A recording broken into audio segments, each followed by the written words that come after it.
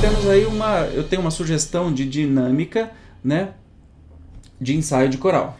É, primeiro, a gente faz um relaxamento, porque as pessoas chegam tensas e é especialmente se o ensaio é, por exemplo, depois do trabalho, à noite, ou muito de manhãzinho e tal, você vai relaxar as pessoas, dar exercícios de relaxamento. Depois você faz um aquecimento vocal para acordar as vozes dos cantores.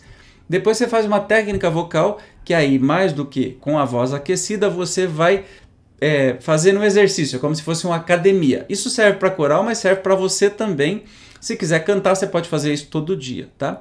Então a técnica vocal é uma academia para sua voz. Depois você faz a parte de repertório, de ensaio de repertório, ensaio daquela música, daquelas músicas, e faz o desaquecimento, que é o fry, ah, o monstrinho. Pronto, você já tem um ensaio é, feito, é, bem legal, bem gostoso. Eu não vou entrar de novo em, nos detalhes, mas eu prometo que ainda vou fazer um vídeo sobre cada coisa, né?